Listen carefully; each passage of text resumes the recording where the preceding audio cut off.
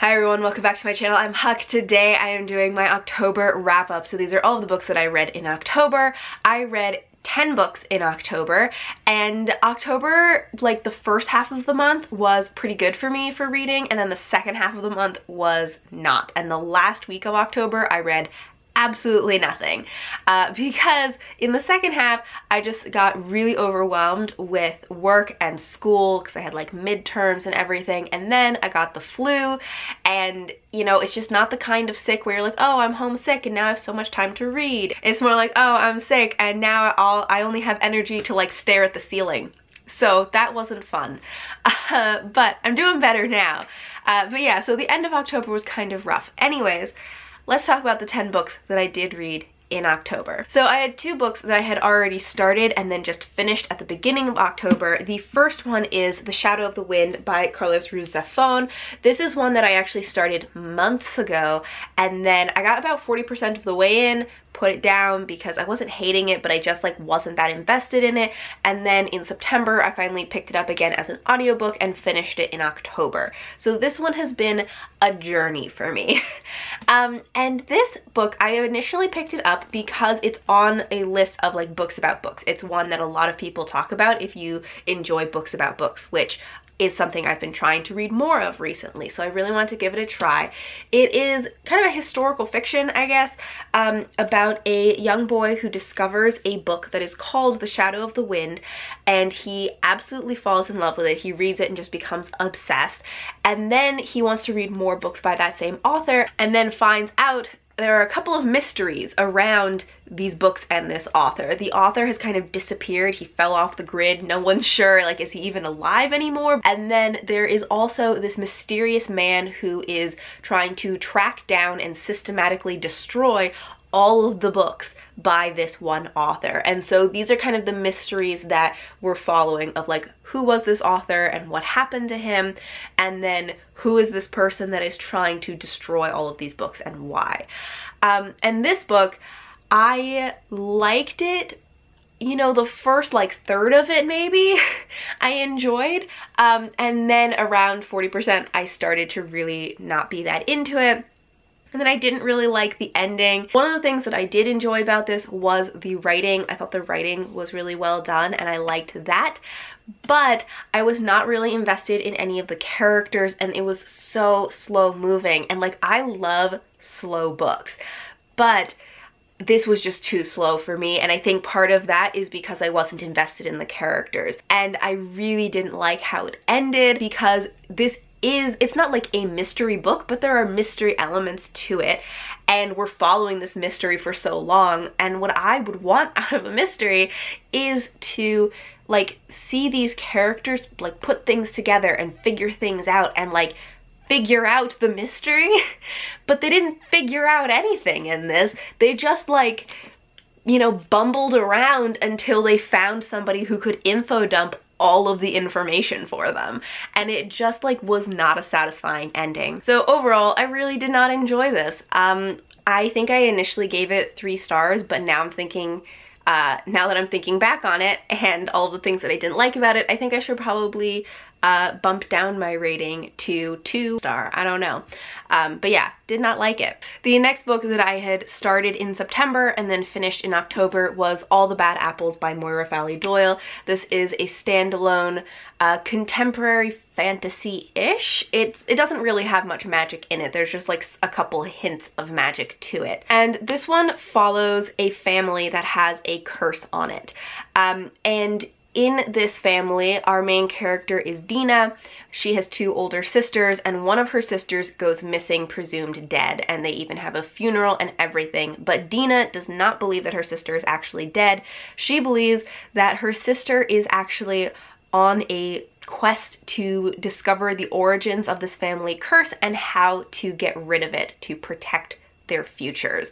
Um, and she thinks that her sister is leaving her hints as to how to find her and how to unravel this mystery. And this book I did not like as much as the Spellbook of the Lost and Found, partially because it was less like magical feeling, um, but I did like it more than the Accident Season. So this is going to be my like middle book of the three that she has out.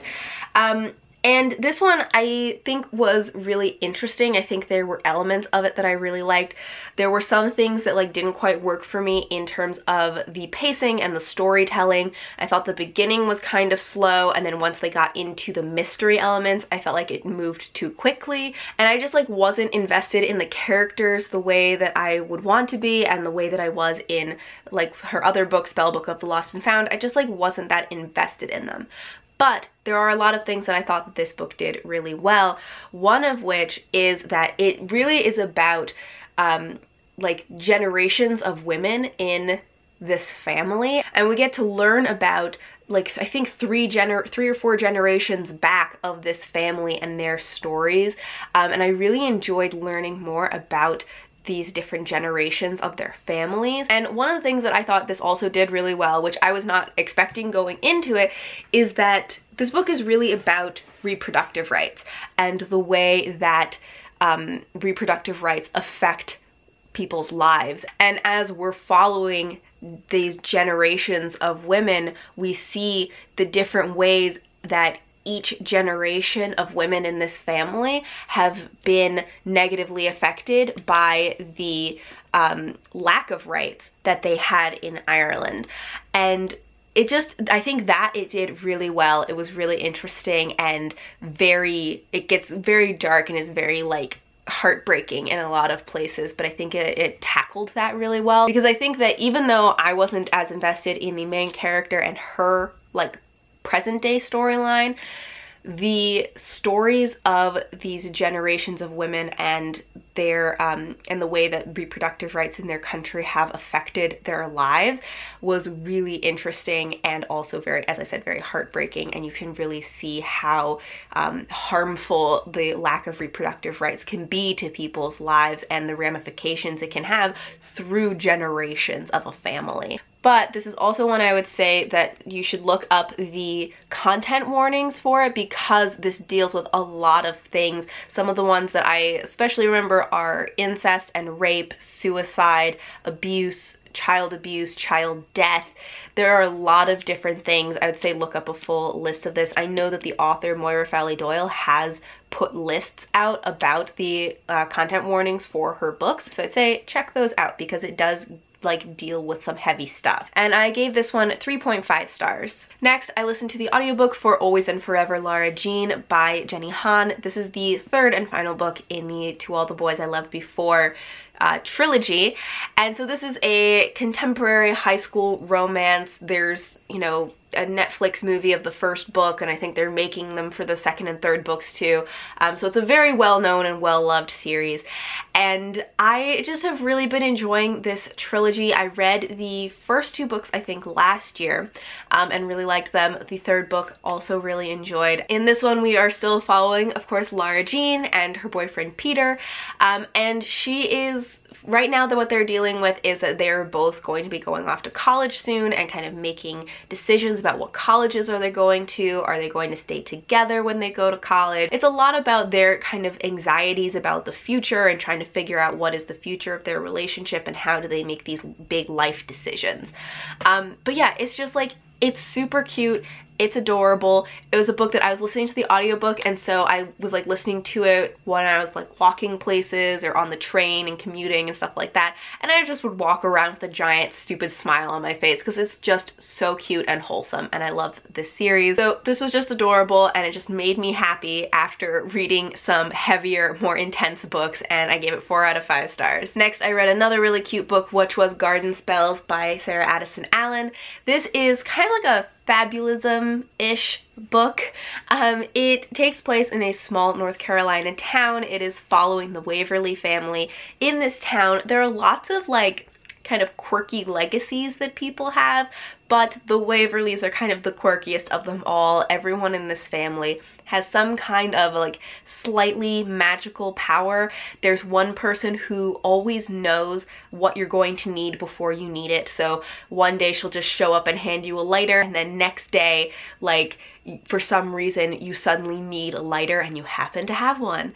Um, so it's like little subtle powers like that. We're following two sisters, Claire and Sydney. Claire has stayed in their hometown and has, you know, tended their family garden and really stayed in their family home and all of that. Sydney left home as soon as she could and has gone on adventures and then she ended up getting into some trouble. Um, now she has a daughter and she wants to kind of protect her daughter and so in order to do that she goes home back to the small North Carolina town back to her sister Claire and their uh, childhood home and it's about these two sisters reconnecting and both of them kind of figuring out what family means, what home means, what safety means, um, and both of them learning their own lessons. It has a little bit of romance in it, but again it's just like very wholesome romance. It has baking magic and like garden magic. There's an apple tree that will like that wants you to eat its apples and so it will like throw apples at people. Reading this was like having a hallmark movie in a book with just a touch of magic to it. It was just really heartwarming and adorable. I gave it four out of five stars. Then after Garden Spells, I went on to read the second book in the Waverly family duology, I guess it is, um, which is First Frost. And this one is following the same characters nine or 10 years later. And so in this one, Sydney's daughter is now in high school. And so we are also following her life. We're still following the sisters and kind of what's going on with them, but we're also following the daughter, Bay. And Bay also has has a little bit of a special power to her, which is kind of like making trouble for her at school and especially with a particular boy that she likes. Um, so this one is especially following her and her uh, romance and kind of trying to figure out what her life is going to be. And this one was also really adorable and cute and just heartwarming. I'm just like using all the same words to describe them. I enjoyed this whole duology. I gave the second one 4 out of 5 stars also. I would say that I liked Garden Spells a little bit more than First Frost, so this is a slightly higher 4 stars than First Frost, but I really enjoyed both of them. Then since I enjoyed the Waverly duology so much, I decided to read more books by this author, so I read two more. The first was The Sugar Queen, and this one I just like didn't enjoy as much. Um, it was following, again, it's I think in a small town, maybe in North Carolina. I think all of her books take place in like small North Carolina towns. But it's following this woman who lives with her aging mother um, and is taking care of her and has kind of kept her life fairly small uh, when a woman that she barely knows shows up in her house and decides to live in her closet uh, because she's hiding from something. But while she's living in her closet, she decides that she's going to fix the main character's life and make her be more bold and take risks and fall in love and all of those kinds of things. Um, so it's about the main character kind of trying to take control of her life and figure out who does she want to be and um, find love and all of that. And this one, I just like wasn't as into it because I was not that into the main character. I felt like we didn't get to know her very well. I also felt like there was there were multiple perspectives so we did hear from her perspective and then sometimes we would hear from other characters perspective so we got to see her from their eyes and the way that she acted when reading from her perspective versus the impression that other people had of her just like didn't go together and I was just would get very confused and I'm like are these even the same character? I wasn't as invested in the uh, love, the main love interest. I didn't really understand why they were interested in each other, why they made sense together. It just like wasn't a romance that I really liked. So I gave this one three out of five stars. I just like didn't really like it as much. Um, the next one that I read was The Peach Keeper and this is um, another one in a small North Carolina town, I think, um, that is following two main romances uh, and it's following the, our main characters are two women who each have their own little like romances um, and the two of them kind of grew up together but don't really know each other that well but now they are adults and they kind of end up having to get to know each other better as adults now and becoming friends um, and we find out kind of some family secrets and family history. This one again didn't love it as much as uh, Garden Spells or First Frost. I did, I was more invested in the romances in this one. Um, it just the romances I just enjoyed them more they made more sense to me and I was more invested in them. But I did not like it that with one of the romances they used a one of the characters they used a character's sexuality as a plot twist. Overall I ended up giving this one three stars. Then I also read a book of poetry which was This Beckoning Ceaseless Beauty by Heidi Rose Robbins. And this one definitely had a few poems that I really enjoyed. And yeah I might read more from this author. I'm not sure yet. Then I finally read Vengeful by V.E. Schwab. This is the second book in the Villains duology. The first book was Vicious. I loved Vicious when I read it last year, I think. Um, and so I've kind of been putting off reading Vengeful because I wasn't sure if I was going to like this one as much. And the fact is, I did not like this as much. Um, I didn't dislike it, but it was just very mediocre to me. Um, again, we're following Victor and Eli as well as many other characters. And so because there are uh, all of these different characters and perspectives. There are lots of different like motives and plot lines that are going on which kind of intersect at different points throughout the story. With this one, I think that there was just something about it that wasn't as compelling as Vicious. Once again, in this we have a non-linear storytelling, non-linear timeline because we do have a lot of flashbacks as we're finding out more about characters' backstories um, and like how they got to where they are now. We find out also more about Victor and Eli and their friendship, their origins. We find out more of Eli's backstory and kind of where he's coming from. His backstory was interesting, but also felt a little bit contradictory to what we knew about him from the first book, but whatever. I liked learning more about his backstory. I found that I actually became more invested in the flashbacks and the backstories than the present timeline. So I definitely enjoyed that like non-linear storytelling format, but one of the dangers of that is that one element of the story, whether it's the present timeline or the flashbacks, is going to become more interesting and it's really hard to balance and keep both of them interesting. Both of them were decently interesting, but I definitely was more interested in the backstories and the flashbacks. I think something else that can be difficult with a lot of flashbacks and a lot of like not like time jumping and a non-linear storytelling and all of that is controlling the amount of information and the amount of perspectives. So I as much as I enjoy the flashbacks, I think that there were a few too many characters, a few too many perspectives for that to really work well. But I thought that it had a pretty good ending. I liked the ending of this. I just think it took too long to get there. I feel like this book didn't need to be quite as long as it was.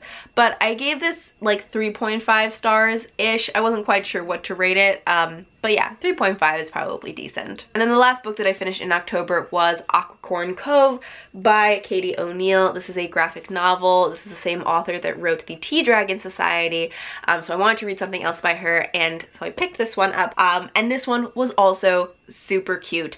This actually takes place um, in like a seaside setting and it is about like ocean conservation. But in this, our main character and her dad go to a uh, small seaside town where her aunt lives to help them recover and rebuild from a huge storm that had kind of wiped out a bunch of stuff in their town.